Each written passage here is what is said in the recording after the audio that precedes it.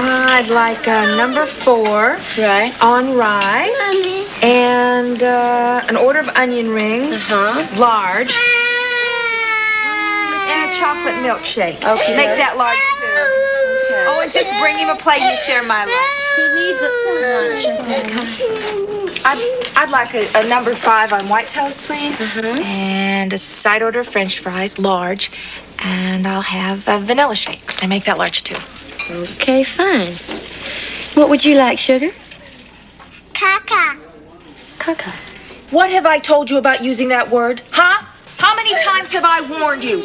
You are getting soap for lunch. Stop.